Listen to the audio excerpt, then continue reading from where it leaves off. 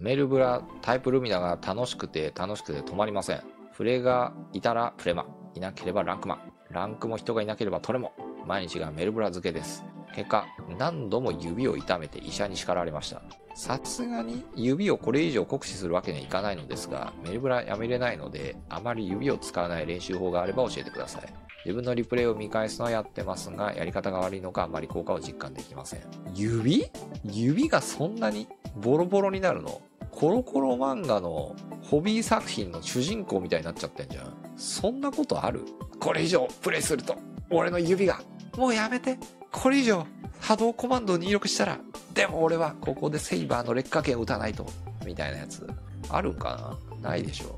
うーん、でもまあ、でも確かにこの人が指を痛めてしまってるっていうのは大変悲しいので、解決策を考えるが。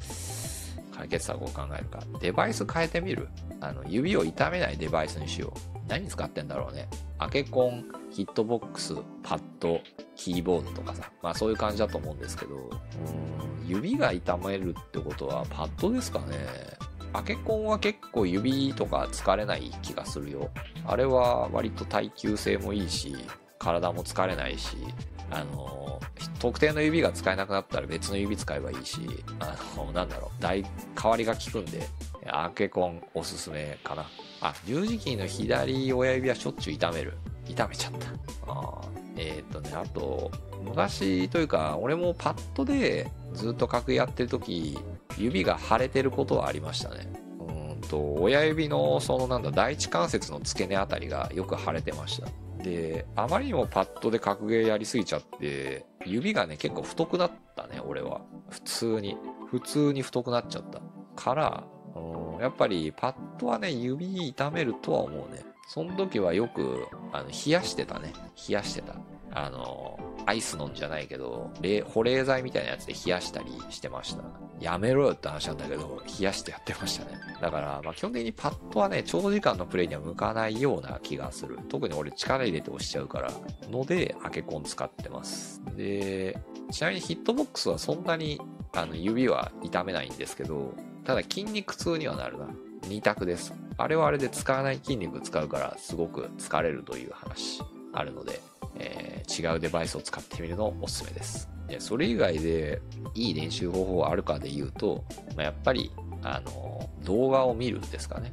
動画を見る。今、動画とかさ、あの配信とかさ、リプレイとかさ、まあ、死ぬほど転がってると思うんだけど、できればね、スロー再生できるやつがいいな。スロー再生できるやつ。スロー再生できる YouTube の動画とかで見て、あの実況をしてください。実況解説。まあ、できれば当倍がいいんだけど、当倍いきなり難しいと思うんで、すべての状況を口でガーッと説明したり、相手のこう思惑とかを考えて言うのをやってみるといいかもしれないですね。あの、なんだろう。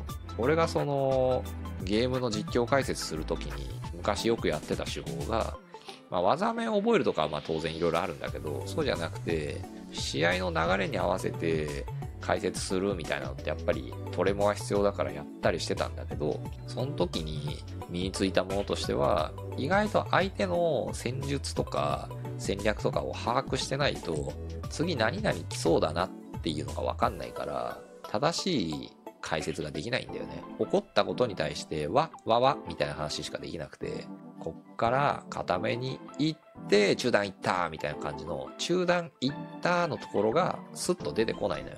この固めからは中段に行くパターンがすごい多いはずなのに、みたいになるんだけど、それが分かってないで見てると言えないんだよね。まあ何が言いたいかっつうと、ゲームの理解度が高ければ、言語化する能力がに長けてれば、あの、ね、あの、馬娘の実況解説みたいにね、言えるんですよ。ダーって。理論上はね。